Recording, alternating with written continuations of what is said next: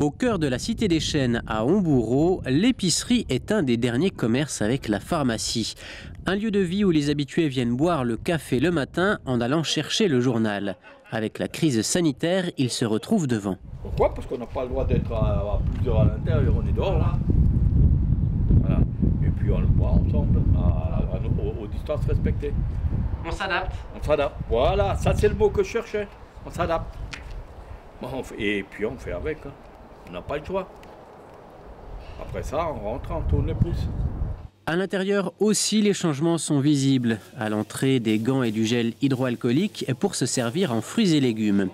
Plus loin vers la caisse, des marques au sol pour respecter les distances sanitaires et un paravent en plastique qui protège à la fois le caissier et les clients. Des protections qui mettent tout le monde en confiance. Ah, moins là, tu es bien protégé. hein.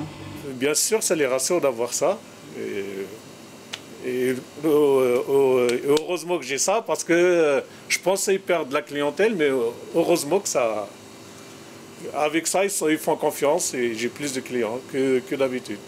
C'est les clients qui viennent bah, de, de- la cité, de la région, qui viennent même de loin, parce que les gens, les clients maintenant, ils évitent, euh, ils évitent les grandes euh, centres commerciaux et préfèrent les petits commerces de proximité parce qu'ils trouvent un peu tout et en, toute euh, sécurité.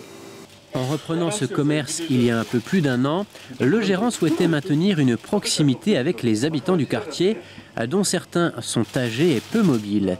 Il propose des produits alimentaires et de première nécessité, de quoi faire ses courses, mais aussi retirer des colis ou envoyer de l'argent à l'étranger. Alors, lorsque la question s'est posée de livrer les courses à domicile, le gérant n'a pas hésité. Le système de la livraison, c'est que les gens me contactent euh, la veille pour savoir qu'est-ce que- qu'est-ce qu'il leur faut que je leur prépare avec le monsieur Clam David qui leur livre tout en sécurité.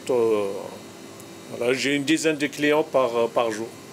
Pour ces livraisons, il est épaulé par des bénévoles comme David qui tient à maintenir un circuit de solidarité au sein du quartier. Bah oui, je dis bonjour à tout le monde. hein. Voilà, et, c'est comme, et comme le magasin, c'est, c'est mon copain. Voilà, exactement. Du coup, on vient de livrer un petit papy de- d'environ 90 ans qui vit, qui vit, euh, confiné depuis le début de la crise. Bon, du coup, on le livre tous les jours, quasiment tous les jours depuis le début de la crise. C'est un des premiers qu'on a livré. On s'occupe en gros d'environ 4-5 personnes comme ça et environ une dizaine de clients qui viennent régulièrement par rapport à la livraison sur, euh, la boulangerie El Baraka. Donc on, on répond aux demandes euh, et plus on demande, plus on livre.